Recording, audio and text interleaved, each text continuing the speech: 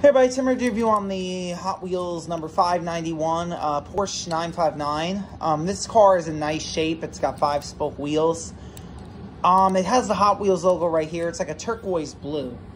Um, this is from 1996. It's not that rare. Um, this one's not that hard to find. It says on the bottom here, Mattel 1987. I believe that's when the year it was released. And this has a metal base, which is pretty nice. I really like that out this car. Um, it's very cool. It's got, like I said, the Hot Wheels logo. It doesn't have really any other markings or anything else on it. Specifically, there's nothing really, you know, much to say about this casting. Um, I do like the fact that this looks like a Porsche 959 itself. I mean, look at this. It's really cool. Um, I think this is one of my favorite uh, Hot Wheels models that have ever, has ever made in the 1990s line. I've always wanted this model to pick up for the collection.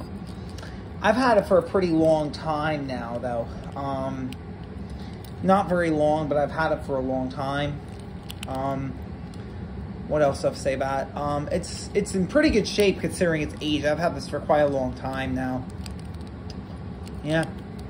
So that's going to be my review today on the number 591 Porsche 959 from Hot Wheels. Thank you. Have a good day.